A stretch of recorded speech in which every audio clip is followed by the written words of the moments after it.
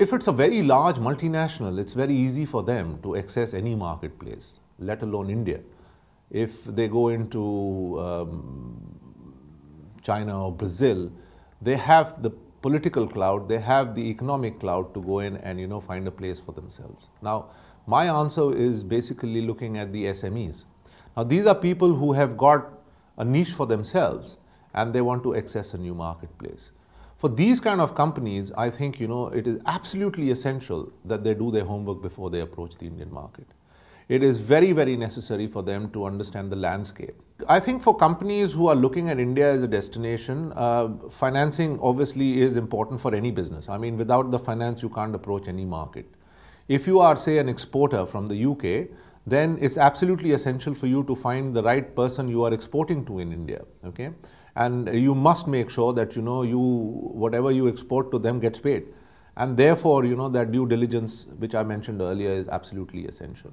Now, if you have got aspirations of going into you know um, having your own presence in India and you know you've created a market for your products, then it is uh, therefore even more important for you to understand where should you set up your manufacturing, what are the local regulations, who should you be making a partner if you need to make a partner, what kind of distribution channels are available to you. You need to do this as part of your due diligence process. And once you are convinced that you know you've got the right partner, you understand the landscape, you understand the geography, you feel that you can understand you know the regulatory environment that's the time you put together a business plan. You put together a business plan and then go and speak to your bankers because at the end of it you know they are they have to be convinced that you know your business plan works and that you know they are willing to to fund your uh, your operations in india.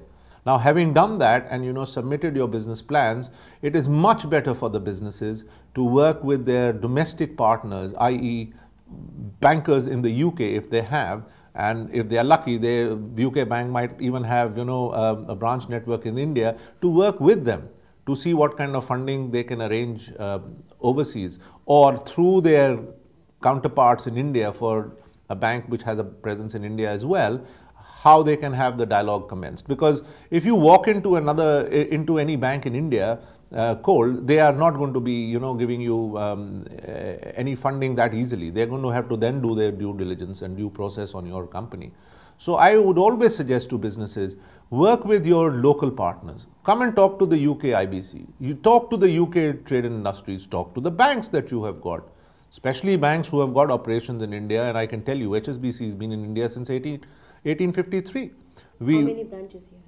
We, we operate in 27 cities. We operate in the tier 1 and tier 2 cities. So we are in all the major states where growth is happening. Come and talk to us.